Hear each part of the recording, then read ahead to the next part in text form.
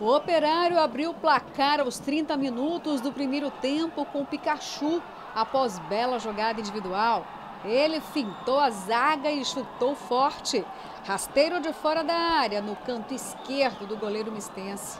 Pikachu chegaria com perigo novamente aos 44, num chute de longa distância que o goleiro Gabriel desviou para o escanteio.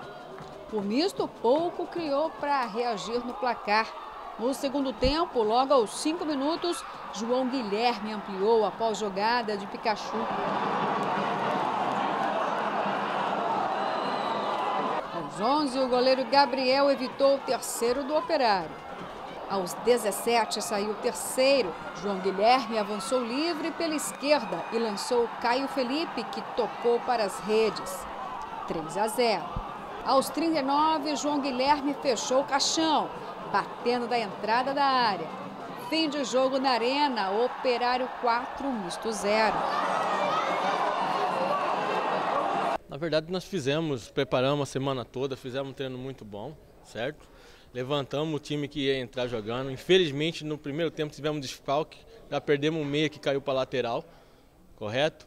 E assim, no decorrer do tempo, o que aconteceu aí é futebol. Porém, confio muito nesse time aí, tenho certeza que a classificação vai vir, certo? A situação do tático, nós preparamos o time taticamente, mas ocorreu isso que ocorreu aí, certo? Agora é preparar o time daqui para frente, né? Ver as peças necessárias que querem jogar no misto, querem vestir a camisa do misto, né? Querem lutar pelo time e ir para frente para buscar a classificação. A equipe estava bem desgastada, né? A gente fez dois jogos uh, de igual para igual com Cuiabá e com Santa Cruz.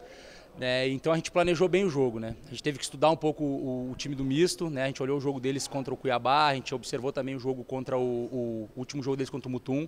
Então a gente tentou armar uma equipe que tivesse velocidade no contra-ataque, né? E que tivesse uma defesa sólida, né? Então a gente conseguiu se sobressair, encaixou o jogo, né? E nas chances que a gente teve a gente conseguiu ser produtivo. Manteve o foco os 90 minutos, independente do placar tá 3 a 0, 4 a 0, a gente manteve o foco, disciplina tática, né? Comprometimento. Então isso dá para usar para o restante da competição.